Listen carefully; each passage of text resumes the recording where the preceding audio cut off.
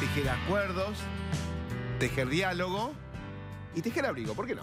Y tejer fuerzas, Sí, ¿eh? sí, sí, sí. Porque tuve la suerte, Guille, de encontrarme ayer con un grupo de mujeres. Lamentablemente son todas mujeres las que tejen. Estamos haciendo una convocatoria para que se animen a tejer los hombres también, ¿Cómo no? Puede ¿sabes? ser, sí, sí, sí. Eh, pero bueno, esto fue un encuentro que se da todos los años, el encuentro de tejedoras, y tuve la suerte de encontrarme con Ruth, que nos contó de qué se trata. A ver,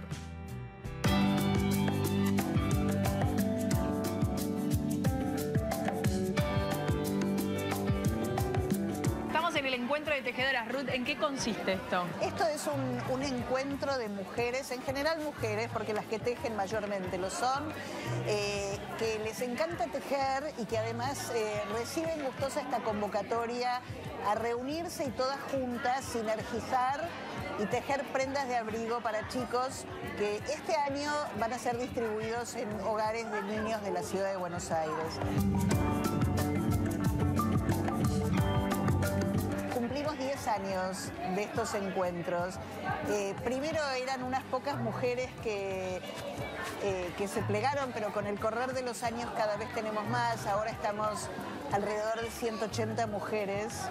Eh, se siente por el ruido, porque se teje con las manos, pero además se aprovecha para charlar y, y- y co- es un momento de mucha energía, porque uno está haciendo lo que le gusta, pero cuando le pones el plus de que no es para tus nietos, no es para tus hijos, sino que es para alguien que no conoces pero que lo necesita, eh, genera, genera mucha emoción y genera mucha alegría.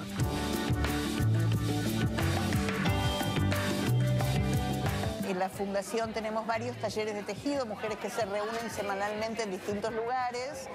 Y nació como la idea, bueno, juntémoslas a todas a ver qué pasa.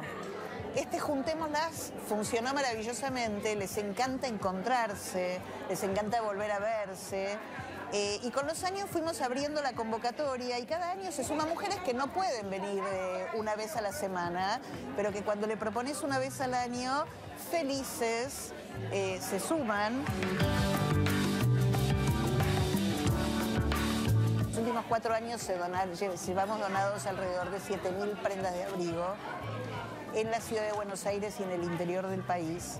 Y cada prenda lleva una etiqueta que dice esta prenda fue tejida por voluntarias. O sea, no, es solo entregamos la prenda, todo un mensaje de, de cariño alrededor de esta prenda que además eh, realmente tejen como si fuera para sus nietos, con colores, con puntos distintos. No solamente le están dando un abrigo, ese abrigo es un abrazo, ese abrigo es decirle, hay alguien que hoy está pensando en vos y en tu necesidad.